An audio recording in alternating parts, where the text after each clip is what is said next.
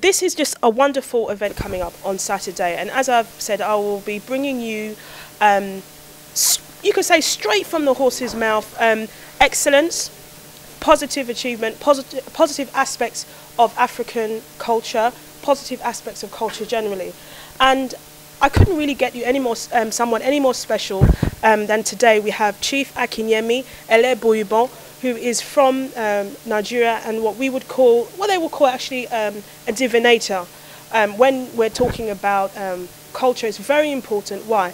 Because in fact, it is he's an Ifa priest, which who, who would be a diviner too, uh, pick future leaders and future, uh, you could say, uh, rulers um, for the Nigerian, of, from the Yoruba culture, um, generally speaking, and the people. So, we are we're looking at culture here today. So I would like to introduce you to um, Chief Akinyemi. Please. Thank you very much.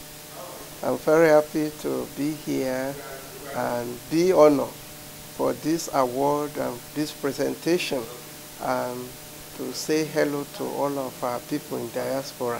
I'm very happy. It's wonderful. So, I mean, we're here at the um, Nigerian High Commission, so it is quite a special um, place to obviously host um, the film awards. And do you realise you're wearing the Hart Culture colours, which is purple and green, and this is wonderful. We're talking about a beautiful union between um, the spiritual world and, and the earthly world and our, our physical bodies. So, could you give us a little insight into your role as a diviner? Oh, thank you very much. A diviner is communicate between man and God. Mm. Each time that uh, we encounter a problem mm. in our daily endeavor, mm.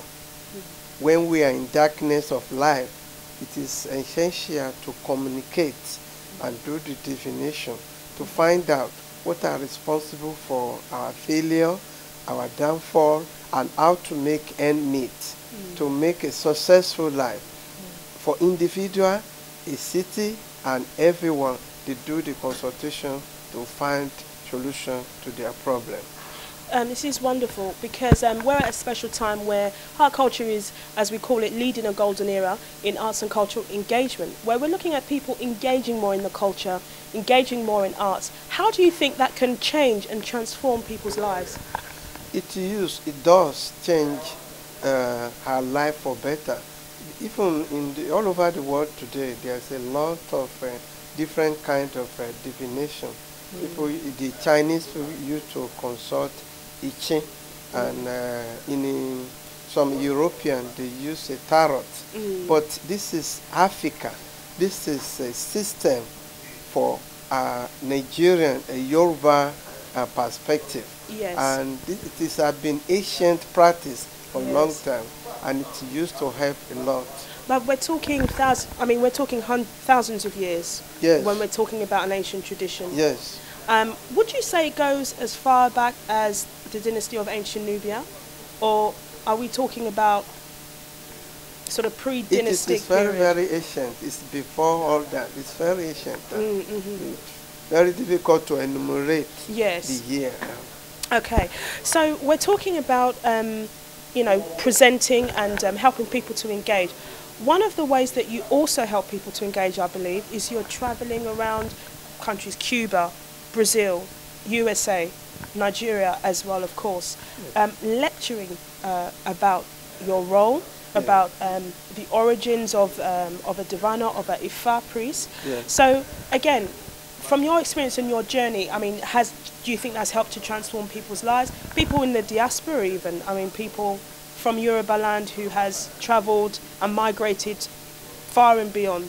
You know, what is your perspective on engaging them in well, this way? Well, uh, all over the world, a lot of them are now start to speak Yoruba language. Yes. They studied, so the awareness is going on. Fantastic. So it's uh, you know it's growing, and as you said, keyword is um, is rediscovery. Yes. One of the issues we've been looking at is a return of the men of wisdom because um, in the UK, you know, the diaspora is quite large, you know, it's, it's quite wide and it's very diverse. So we're looking at welcoming or, you know, engaging with men of wisdom, you can say men like yourself as community leaders, as people who are um, helping to shape the community, as you said, to success. to positivity and to, as we say, a, a right path for spiritual enrichment.